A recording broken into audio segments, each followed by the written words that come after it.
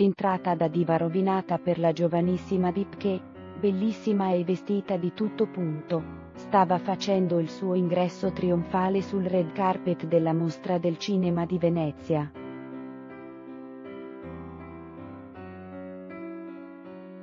Peccato che poi si caduta scendendo dalla gondola e il tutto, nemmeno a dirlo, è successo di fronte a uno stuolo di fotografi pronti a immortalare quello che è stato un vero e proprio scivolone.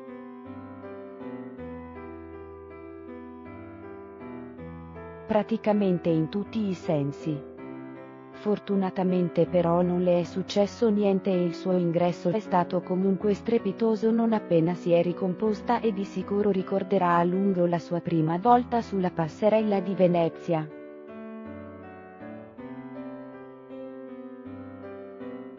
Lei è la bellissima e seguitissima Elisa Maino, tiktoker e volto di L'Oreal Paris di soli 17 anni.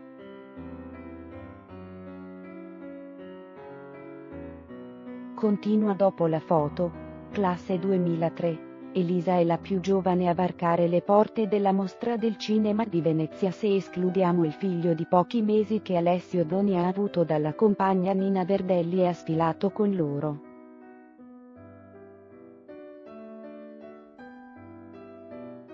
La Maino, per chi non lo sapesse, è la TikToker italiana con maggior successo, conta 2,5 milioni di followers su Instagram e su TikTok invece ben 5,4 milioni.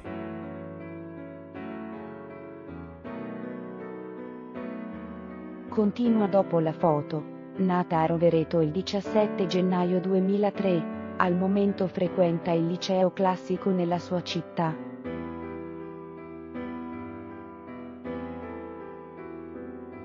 Nel 2015 aveva già tantissimi seguaci sul suo canale di YouTube ed è stata la prima italiana a oltrepassare un milione di followers sul social musical.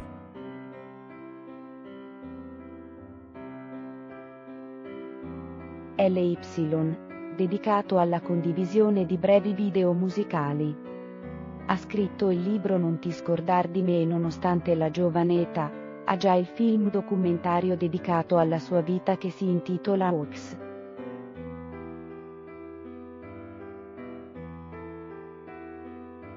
Continua dopo la foto, recentemente è diventata anche la nuova testimonial di Laurel Paris ed è quindi la protagonista dello spot che passa spesso in tv.